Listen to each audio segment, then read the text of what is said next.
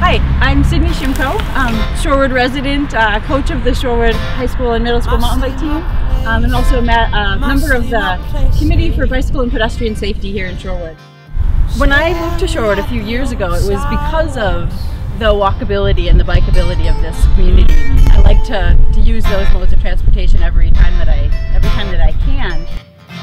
Especially now with Bublr bikes coming in and the bike path right here and everything that makes it so